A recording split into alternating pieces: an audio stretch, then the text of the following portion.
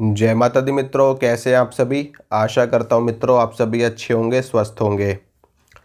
मित्रों कमेंट में एक प्रश्न पूछा गया था मुझसे। प्रश्न क्या पूछा गया था? उन्होंने बताया था कि काफ़ी समय से मंत्र जाप की, मंत्र जाप किए जा रहे हैं, लेकिन उसके बावजूद भी कोई अनुभव नहीं हो रहा, ना ही सिद्धि प्राप्त हुई है। तो इसके पीछे क्या कारण होता है? देखिए, अगर आप जाप पे जाप करते जा रहे हो और अनुष्ठान पे अनुष्ठान करते जा रहे हो, उसके बावजूद भी आपको अनुभव नहीं हो रहे और उसके बावजूद भी आपको सिद्धि प्राप्त नहीं हो रही तो इसके पीछे कई सारे कारण हो सकते हैं। कौन कौन से वो मैं आपको बताता हूँ। पहला कारण तो ये कि आपको मंत्र कहाँ से प्राप्त हुआ है। अगर आपको मंत्र किसी योग्य साधक से प्राप्त हुआ है किसी योग्य आचार्य से प्राप्त हुआ है, अपने गुरु से मंत्र प्राप्त हुआ है, किसी योग्य ब्राह्मण से मंत्र प्राप्त हुआ है, किसी सिद्ध से मंत्र प्राप्त हुआ है तो निश्चित रूप से आपको सफलता मिलेगी ही मिलेगी। ठीक है? और आप सिर्फ़ ऐसे ही किताब से उठा करके मंत्र जप कर रहे हो, या फिर इंटरनेट से आप देख करके मंत्र का जाप कर रहे हो तो आपको मंत्र सिद्धि होने में आपको समय लग सकता है। ऐसा नहीं है कि मंत्र सिद्धि नहीं होती। क्योंकि देखिए, जो मंत्र हैं, वो मंत्र कहाँ से लोगों को प्राप्त होते हैं? शास्त्रों में से प्राप्त होते हैं, वेदों से प्राप्त होते हैं, पुराणों से प्राप्त होते हैं।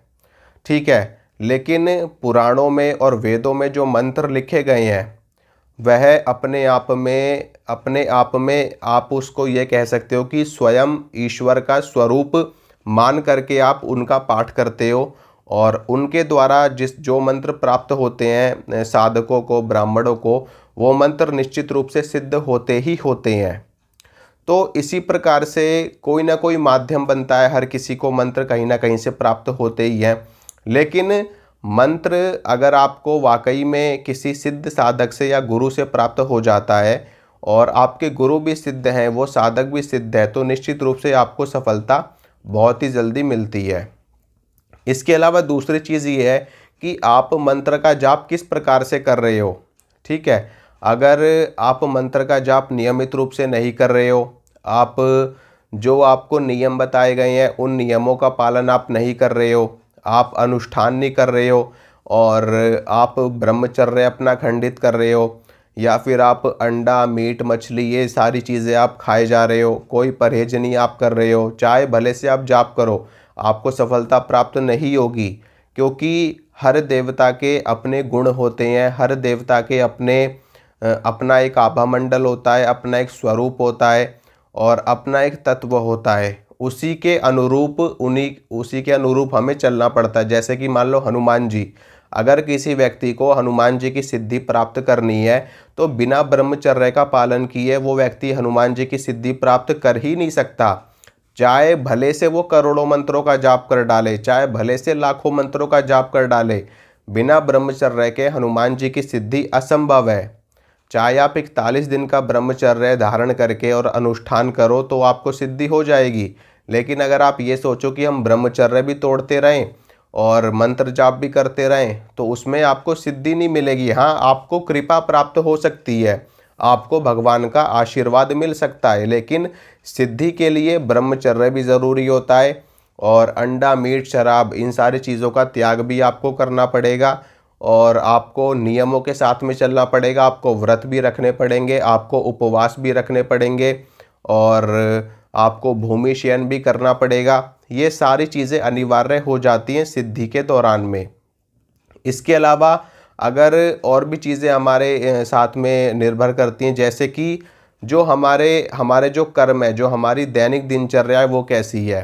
क्योंकि मान लो अगर आपकी दैनिक दिनचर्या बहुत ही शुद्ध है, पवित्र है, आप पूरे दिन पवित्र रहते हैं, शुद्ध रह, शुद्ध रूप से रहते हैं और मंत्र का जप कर रहे हैं, संध्या कर रहे हैं, बराबर सुबह जाप कर रहे हैं, शाम को जाप कर रहे हैं, रात में जाप कर रहे हैं, दिन में जाप कर रहे हैं हर समय आप मंत्र का जाप कर रहे हैं तो निश्चित रूप से आपको सिद्धि प्राप्त होगी ही होगी।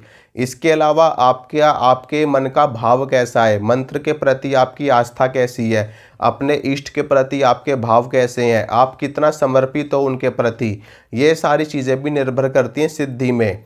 इसके अलावा आपके अंदर सेवा भाव कैसी है? आप जीवों की सेवा कर रहे हो या नहीं कर रहे हो? देखिए नर सेवा नारायण सेवा के समान होती है। इसी प्रकार से जीवों की जीवों की सेवा करना भी बहुत ही ज़्यादा उत्तम माना गया है। जो लोग मंत्र सिद्धि प्राप्त करना चाहते हैं और ये चाहते हैं कि उनको जल्द से जल्द मंत्रों की सिद्धि प्राप्त हो, उन लोगों को चाहिए कि वो जीव जंतुओं की सेवा बराबर रूप से करें। किसी भी जानवर की सेवा करें। सेवा का अर्थ ये होता है कि जानवर, जानवरों को जा कर के कुछ ना कुछ उनको खिलाएँ पिलाएँ जैसे कि कुत्ते को रोटी खिलाएँ पक्षियों को दाना डालें, जो गाय है गाय है, भैंस है, इन सभी को इन सभी को रोटी खिलाई जाए। कोई कोई जानवर तड़प रहा है परेशान है या मुसीबत में है, उसको चोट लगी हुई है, उसको नुकसान हुआ है, उसका कोई दुर्घटना हो गई है उसके साथ में तो आप उसकी देख रेख करें, उसका इलाज करवाएँ, उसकी सेवा करें और मछलियों को आप दाना डालें। इस प्रकार की सेवा से हमें बहुत जल्दी मंत्र सिद्धि प्राप्त होती है।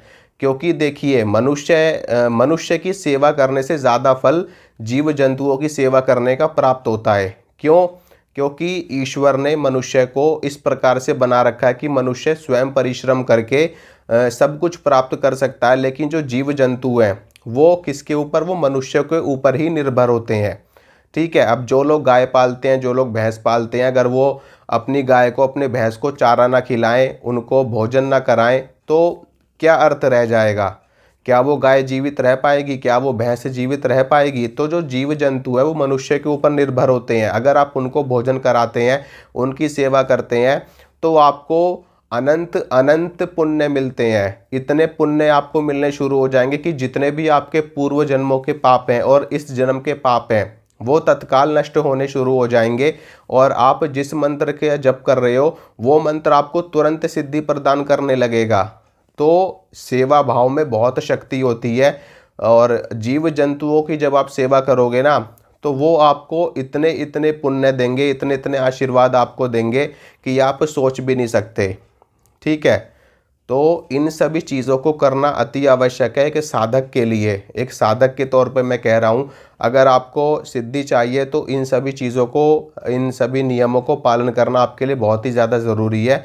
आपको ज़रूर सिद्धि प्राप्त होगी। ठीक है? और बाकी जो परहेज होते हैं, जो नियम होते हैं, उनका पालन करना ज़रूरी तो होता ही होता है। ठीक है मित्रों? तो आशा करता हूँ मित्रों, जो जानकारी मैंने आपको दी, आपको अच्छी लगी होगी, आपको पसंद आई होगी।